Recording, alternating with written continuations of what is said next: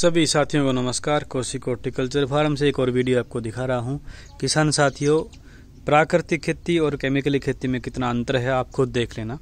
इस वीडियो के अंदर मैं आपको दिखा रहा हूँ, जो अभी जुताई करवाई है खेत की, उसके अंदर बुगलों की संख्या देखिए।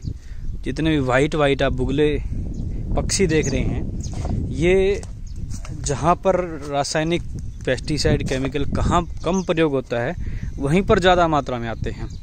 और जहाँ पे यूरिया डीएपी दूसरे केमिकल ज़्यादा डलते हैं, वहाँ पर ये पक्षी नहीं आते हैं।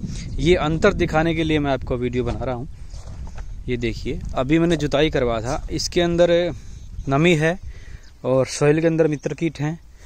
और ये जो बुगले पक्षी आप देख रहे हैं, ये सबसे बड़े मित्र कीट हैं अपने, जो कि ज़मीन के आरामफुल कीड़ों को खा के ज़मीन की पोषकता को बढ़ाते हैं। और हमारी जो सोयल अंडर सोयल जो इंसेक्ट होते हैं डिज़ीज़ होती हैं, इसको कम करने में हमारी सहायता करते हैं।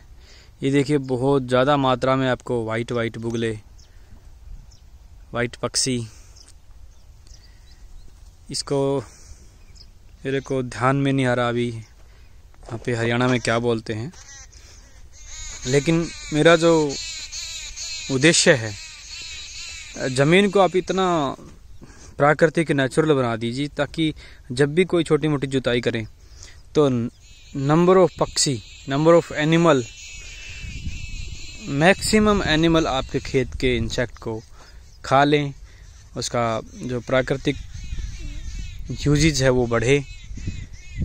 यही उद्देश्य था मेरा। मैंने इनको देखा कि बहुत ज़्यादा मात्रा में अपने चोंच से अंडर सोयल जो भी इंसेक्ट है, उसको निकाल निकाल के खा रहे हैं। और हमारे सबसे अच्छे बड़े मित्र कीट हैं ये। प्राकृतिक खेती का ये भी एक अभिन्न विभिन्न अंग है। इससे आपको अंदाज़ा होगा कि हम बहुत कम केमिकल का प्रयोग। ना के बराबर हम सेफ़ सब्ज़ी सेमी ऑर्गेनिक हम बार बार यही बोलते हैं कि हम सेमी ऑर्गेनिक पे डेवलप कर रहे हैं। ये देखिए, इसके अंदर अभी मटर था, मटर का मैंने बिजाई का हार्वेस्टिंग का दो तीन वीडियो के अंदर दिखाने, क्लियर किया था। आज इसकी जुताई करवाई है। और जुताई के बाद इतने सारे पक्षी ज़मीन के अंदर जो भी इंसेक्ट है, उसको खाने के लिए आ गई है। तो आप भी अपनी ज़मीन को प्राकृतिक नेचुरल तरीके से रखिए, ताकि ये पक्षी भी आपके खेत में आ सकें और जितने भी आरामफुल नुकसान करने वाले कीड़े हैं, उनको खा सकें। उम्मीद करता हूँ वीडियो आपको पसंद आई होगी।